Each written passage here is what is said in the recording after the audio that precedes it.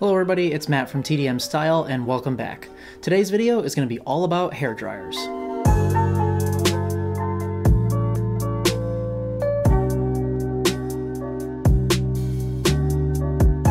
To me, the hair dryer is one of our most important hairstyling tools, so I think it's something that's worth doing a little bit of research on so you really will know what you're getting. So whether you're in the market for your first hair dryer or if you're looking to upgrade what you currently have, this video is for you.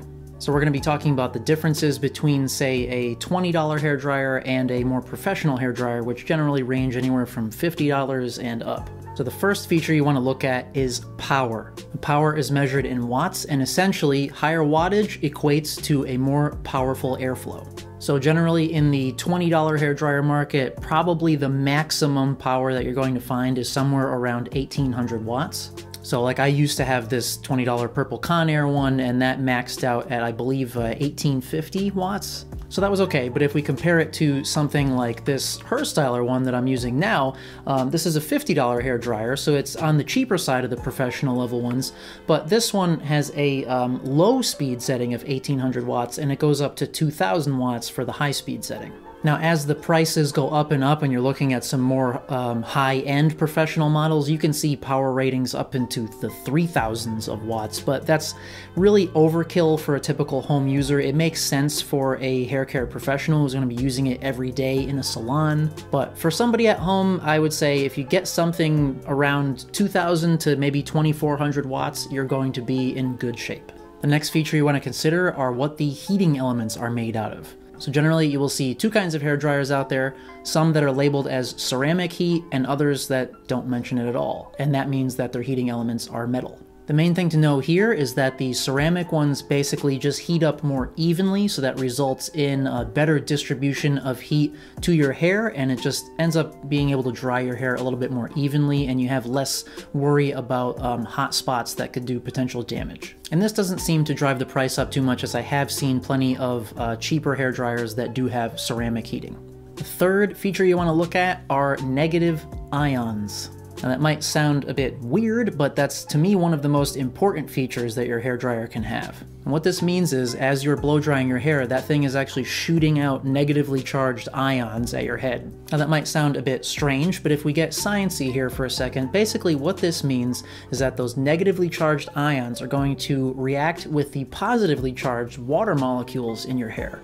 And the negative ions are going to help to break up those water molecules more quickly, so it's going to dry your hair faster, and it also helps to smooth out your hair cuticles, so it's going to leave your hair with a nice natural shine and help to reduce frizz. Once again, this doesn't seem to be a major price point factor as I have seen plenty of $20 hair dryers that have negative ion technology. So those are basically the big three that you want to look out for. Power, ceramic heating, and negative ion technology. So now let's talk about some of the smaller features. First, you have the speed settings. So if we take a look at both this Herstyler and this Lamarca, they both have two speed settings, low and high.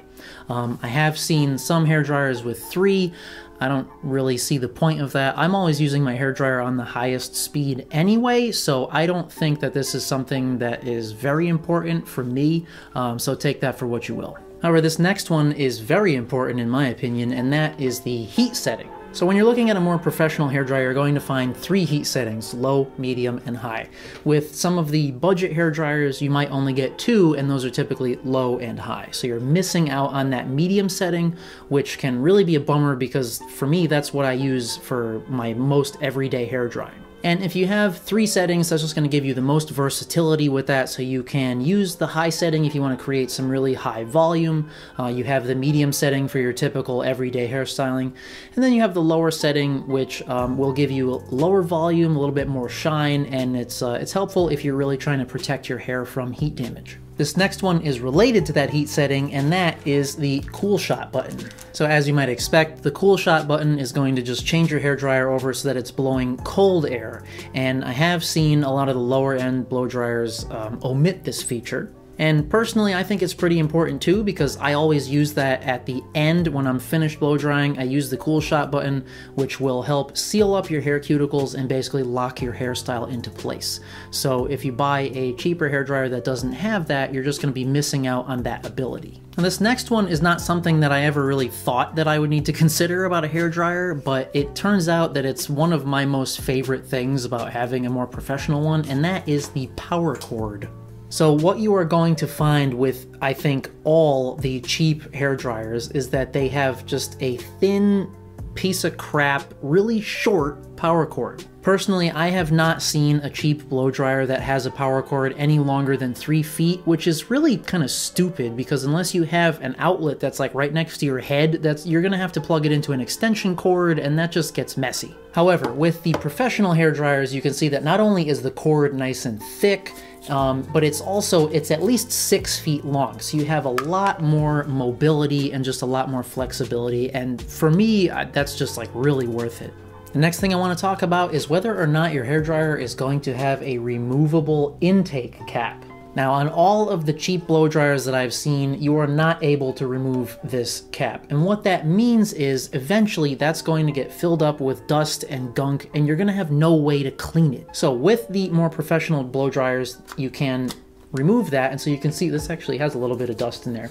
Because over time um, it's just it's like any other type of fan computer fans room fans anything. It's just it's going to build up dust and grime and it's nice to have a way to be able to get in there and clean that as that's going to give your product more longevity. Next thing are nozzles. Now, most hair dryers, whether they're cheap or professional, will come with at least a condenser nozzle like this one, and some come with more. So I don't think that's something that is necessarily going to affect the price point, but what I recommend is that you want to make sure it at least comes with that condenser nozzle because I say just put that thing on there and never take it off. Some of them do come with other things like these volumizing nozzles and that sort of stuff, which I don't use those, but my main point is if you don't have the condenser nozzle, it just, the airflow is more all over the place, and so it's a lot more difficult to control where your hair is going, and it could possibly lead to more poofiness or frizziness. And last but not least is just overall quality of construction.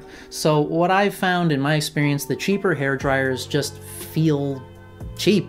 I mean, they, they feel light and chintzy, so if you were to drop that thing onto a tile floor, which most people have in their bathrooms where they're doing their hair, um, it's quite possible that it will break. So with both of these more professional level hair dryers, you can, you can just feel that they have some weight to them. They feel solid. It feels like if I were to drop it, it wouldn't immediately break and cause me to have to buy a new one. So those are basically all the points and features that you're going to be looking at when you're in the market for a new hair dryer. So I recommend that you do spend a little bit more money and get at least a sort of entry-level professional hair dryer rather than the cheap, say, $20 ones. Of course, if you just have like a shitload of money to burn, you could buy, say, the Dyson hair dryer for $600, but uh, for most of us, I'd say that that's pretty out of the question. So my advice to you is spend at least $50 and make an investment because it's going to last you a lot longer and you're going to have better features and it's just going to be a better hair dryer.